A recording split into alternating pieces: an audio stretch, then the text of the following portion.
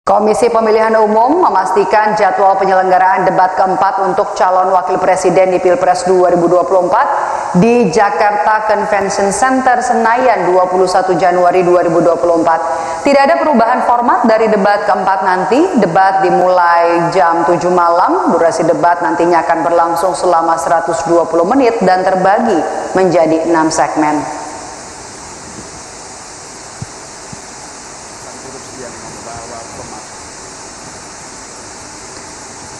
Komisi Pemilihan Umum telah menetapkan tema debat keempat cawapres di Pilpres 2024 yang digelar di JCC Senayan 21 Januari 2024. Debat keempat nantinya mengusung tema pembangunan berkelanjutan, sumber daya alam, lingkungan hidup, energi, pangan agraria, masyarakat adat dan desa. Sementara moderator di debat keempat kali ini yaitu Retno Pinasti dan Zilvia Iskandar.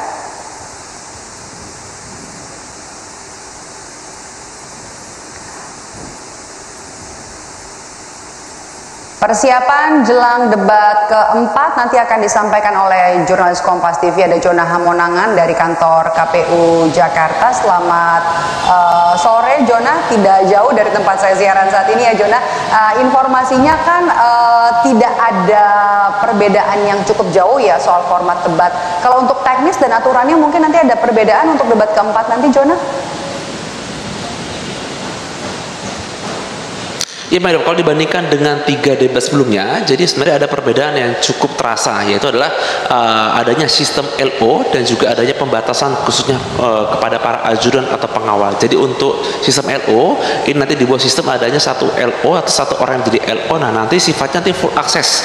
Jadi mengapa ada sistem LO? Ini karena memang sudah ada evaluasi dari tiga sebelumnya, jadi nanti satu LO ini bisa mengatur dan bisa mengkoordinasikan. Ini cukup penting kalau kita lihat terkait dengan uh, tiga debat sebelumnya, di mana mungkin keriuhan atau keramaian ini masih kerap terjadi. Nah, sedangkan untuk walpri atau pengawal pribadi uh, ini juga belajar dari uh, debat sebelumnya di mana terlalu banyak seperti pengawal yang masuk atau mungkin para ajudan dan ini tentu saja cukup mengganggu ya. Jadi memang nanti akan dibuat sistem dinamakan dengan holding room atau ruang transit. Jadi nanti uh, dibuat seperti ruang yang steril dan nanti hanya uh, orang tertentu saja atau mungkin orang-orang yang mungkin dibatasi atau dia tunjuk langsung oleh LO yang boleh masuk. Jadi ini dalam rangka untuk menjaman uh, Eh, menjamin sterilisasi khususnya ruang debat dan juga untuk menjamin uh, debat sendiri berlangsung dengan baik. Nah, untuk debat keempat ini ini ke akhirnya kembali dilangsungkan di GCC dikarenakan uh, modern akses yang baik dan juga mungkin dari uh, para teman-teman media atau wartawan ya sehingga mungkin bisa lebih mudah untuk bisa uh, seperti sesi doorstop atau wawancara ataupun dalam rangka untuk uh, pengecekan atau mungkin dari sistem pengamanan sendiri terkait dengan debat keempat seperti apa. Nah, debat keempat ini fokus kepada cawapres jadi ini merupakan debat kedua dan isu yang paling penting adalah seperti isu lingkungan dan isu-isu pembangunan berkelanjutan. Diharapkan debat keempat ini uh, sama menariknya seperti tiga debat sebelumnya dan bisa uh, melahirkan seperti berbagai hal seperti mungkin pencerahan kepada masyarakat. Maidok.